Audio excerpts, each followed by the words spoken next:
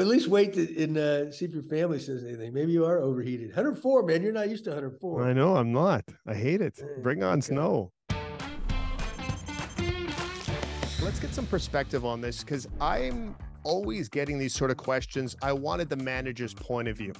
So the scenario is this Vlad Guerrero Jr. has a big personality. He's always smiling when things are going great, smiling sometimes when things are not going so great from your perspective as a manager, when you see somebody smiling or looking like he's having a good time on the bench, on the field, and your team's losing or blowing a lead or anything like that, what's your perspective on that? And how do you handle those situations?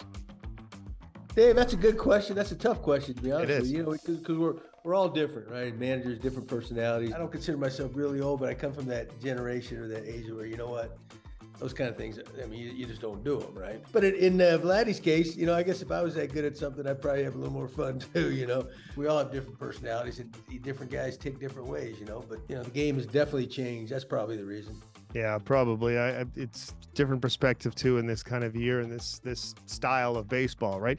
Big time IL problems for the Jays. Bichette, Chapman, Swanson. Now Dano's gone down as well. So Jansen could be out actually for a month. They're saying just because of how serious the injury might be. I wanted to ask you this: with all these guys out, we're seeing a lot of Buffalo Bisons and, and new players that Jays fans aren't used to. Out of everybody that's kind of come up and made their way here to Toronto, who has the best chance to be part of the starting lineup next season. If you think about it, those are key injuries, right? But the guys that have come up have done really well. You know, especially start with Schneider. He's been dynamite since he got here, right? And, and Horwitz has had a big year down there in AAA. Clement's come up. They've done a nice job, so they're filling in. They're just those grinders type, you know, they're hard nosed. Those three guys, I guarantee, could be hockey players if they knew how to skate. They may not have been a shoot, but if they could skate, they would probably fit the mold of a hockey player, right? So I know that the Blue Jays fans probably love that. That's why it's so important to have a good minor league, right? And have some guys that can come up and fit in because people are guaranteed to get hurt.